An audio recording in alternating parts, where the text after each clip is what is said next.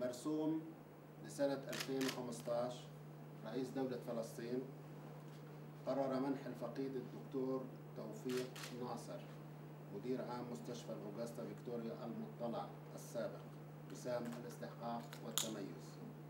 تقديرا لدوره الرائد ولجهوده وعطائه الذي تميز بالتفاني والإخلاص